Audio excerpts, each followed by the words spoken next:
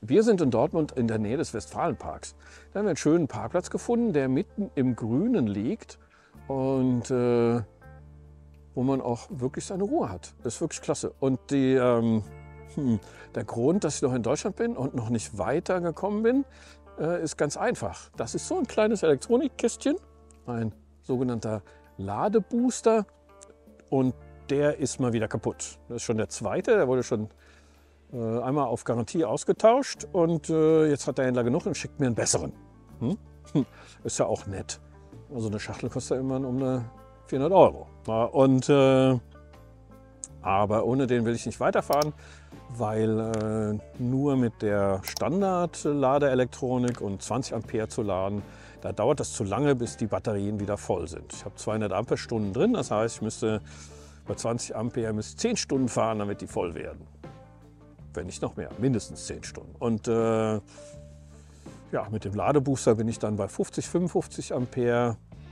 Da sind das dann bloß vier Stunden, die man fahren muss, damit die Batterien wieder voll sind. Das heißt, die werden dann eigentlich nie leer. Und das ist schon mal gut.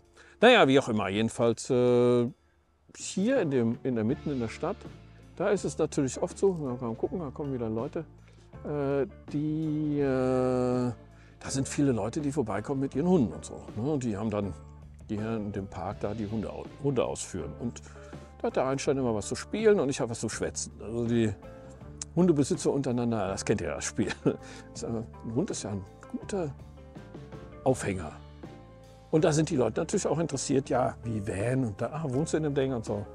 Und ähm, ja, da hatte ich heute Morgen ein super nettes Gespräch mit einer hübschen, netten Dame, die äh, war dann so vollkommen Feuer und Flamme, weil sie nämlich auch ein Van jetzt ausbauen möchte. Und die war so wirklich begeistert von dem Thema und hat sich da so richtig ja, so drauf gestürzt, ohne jetzt überhaupt ein die musste, also sagen wir mal so, der Headroom zum, also musste ich noch einiges an Fachwissen erarbeiten, aber ich habe ja auch vor zwei, drei Jahren keine Ahnung davon gehabt, was dann irgendwie jetzt so abgeht. Und ähm, ich mache aber viel so Kurse zum Thema Projektplanung und so weiter. Und da, da ist ja ein Ding, finde ich immer ganz wichtig, so der, der gute alte deutsche Spruch, warum, weshalb und wie. Ja? Also vor allem die Reihenfolge dieser Fragestellung finde ich immer sehr wichtig, dass man sich halt erstmal überhaupt Gedanken macht darum, warum denn jetzt? Habe ich da etwas? Was sind denn meine Beweggründe? Was, warum will ich das denn machen?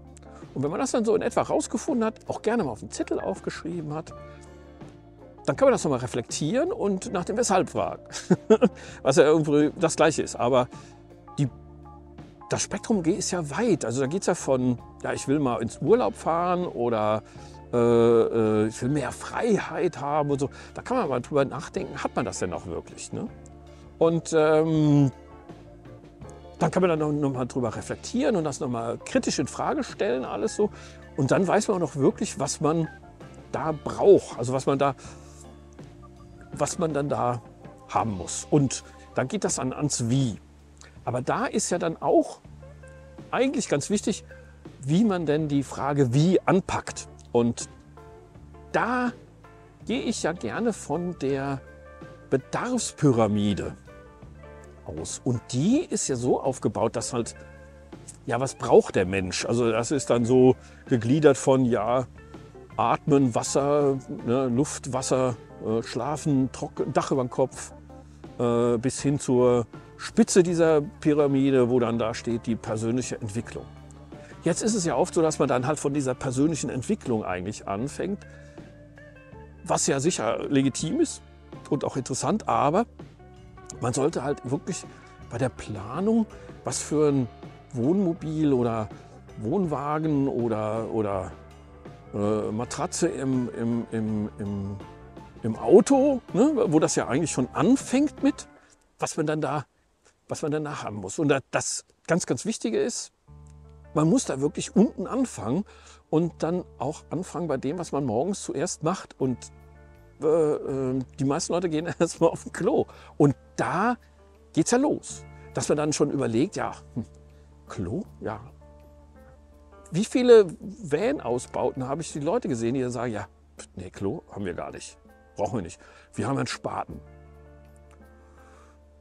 Kann man dann drüber nachdenken, ob das einem langt, ob man das okay findet, dass man zum Beispiel, wenn man dann jetzt mal hier in so einem Stadtpark gelandet ist, ob das eine coole Nummer ist, wenn man sich da hinterm Busch hockt und seine Hinterlassenschaften vergräbt.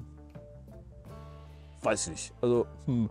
ähm, dann sagt man ja, okay, da gibt es halt eben den Chemieklo, der in den meisten Dingern verbaut ist, also in den fertigen Wohnmobilen. Finde ich ja auch fragwürdig, dass man jedes Mal zu einer äh, Sondermülldeponie im Prinzip muss, um, um da seine Chemie zu verklappen. Okay, da gibt es jetzt so andere Zusatzstoffe und so, aber irgendwie die Dinger, die möffeln nach zwei oder drei Tagen. Meine persönlich präferierte Lösung ist eine Komposttoilette, also eine Trockentrenntoilette nennt sich das auf äh, Fachdeutsch. Und äh, da haben wir eine von der Firma Kildwick. Aber ich will jetzt keine Werbung machen, nur so einfach nur, dass man drüber nachdenkt und jeder für sich entscheidet, was ist denn da und äh, über, über das Thema dann auch mal nachdenkt. Aber wenn man das so stückweise macht, dann verblendet man nicht diese ganze Diskussion. Okay, was ist denn da, was heißt denn Chemieklo überhaupt? Was ist denn, warum braucht man denn diese Chemie? Warum braucht man denn, was ist denn jetzt cool an so einem Spaten, den man einfach in den Wald schleppt? Oder was ist da nicht so cool dran? So, wenn man das mal weiß, dann hat man dann schon mal einen Grundstein von seinem Ausbau. Und äh, der nächste ist dann Waschen. Hm? Wasser, Frischwasser. Muss mich jeden Tag duschen, langt das einmal die Woche. Ist das okay, wenn ich in, äh, in, äh, in, in ein Freibad gehe oder ein öffentliches Bad oder gibt es das überhaupt überall und so weiter? Dann kann man sich darüber Gedanken machen, wie das so ist. Und dann braucht man, sieht man auch daran, wie viel Wasser man denn braucht. So, und dann, klar, kochen natürlich. Gehe ich essen, gehe ich in meine Restaurants, würde ich mir selber kochen. Nahrungsmittelaufbewahrung, brauche ich einen Kühlschrank. Schlafstätte, die kommt erst dann, ne? nicht vorher. Viele Leute machen sich dann Gedanken über das Bett und wie das denn aussehen soll und sonstiges, haben aber die wirklich grundlegenden Sachen noch nicht abgeklärt. Und ähm, ja, und dann kann man irgendwann mal drüber nachdenken, wenn man dann halt äh, das mit dem ähm, Kochen und so weiter abgeklärt, brauche ich den Gas, brauche ich den Propan? Wie sieht das aus mit den rechtlichen Bestimmungen vom Transport von Propanflaschen und Gasanlagen in so Wohnmobilen? Ja. Dann, äh, wo war jetzt? Ja, und dann kommt dann irgendwann auch der Strom. Was brauche ich dann an Strom? Ja. Und äh, da sind wir aber eingangs erwähnten Thema. So, Duschen, ne? da gibt es auch. Achso, kleiner Tipp, wir waren ja jetzt in Finnland die ganze Zeit. Und was die Leute da haben, sind diese Saunaduschen. Die sind vollkommen klasse. Das ist einfach nur so eine, so eine Pumpe, die ist unten an so einem Schlauch dran.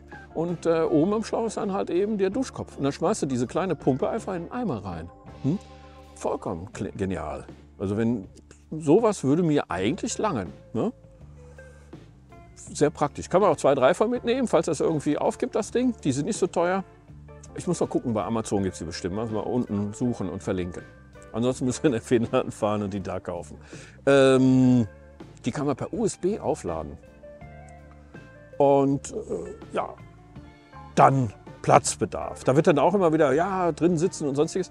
Ja, der Punkt ist ja der, du fährst ja mit so einem, also ich für mich, mir geht es jetzt darum, mein Warum, ich will äh, äh, es warm haben. Also äh, klar, will trocken und warm in, in, drin haben, aber ich will auch warm draußen haben. Ich gerne mit dem Hund spazieren gehe oder wandern gehe und so weiter. Da fragt sich dann auch, wie viel Platz brauchst du denn in dem Auto zum Sitzen und so weiter. Braucht man das wirklich? Wie lange hält man sich denn da auf? Ja, das sind so interessante Sachen. Wie geht ihr denn daran? Schreibt doch mal in den Kommentaren rein. Ähm, vielleicht können wir auch zusammen eine Liste machen an Punkten, die man irgendwie abhaken muss oder sonstiges.